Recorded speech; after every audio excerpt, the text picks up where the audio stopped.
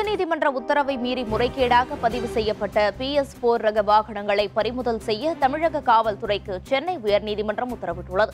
நாட்டில் இரண்டாயிரத்தி இருபது மார்ச் முப்பத்தோராம் தேதிக்கு பிறகு பி எஸ் போர் வாகனங்களை விற்கவும் பதிவு செய்யவும் கூடாது என உச்சநீதிமன்றம் உத்தரவு பிறப்பித்துள்ளது.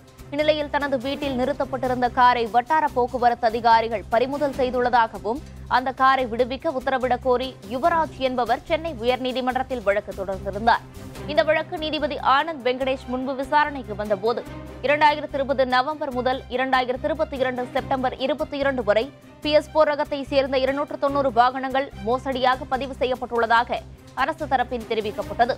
இதை பதிவு செய்து கொண்ட நீதிபதி ஆவணங்களை திருத்தி பி எஸ் போர் ரக வாகனங்களை மோசடியாக பதிவு செய்து பெரிய முறைகேடு நடந்துள்ளதாகவும் போக்குவரத்து துறை அதிகாரிகளின் துணை இல்லாமல் இது நடந்திருக்காது என்பதால் இது குறித்து முழுமையாக விசாரணை நடத்த வேண்டும் என உத்தரவிட்டுள்ளார்.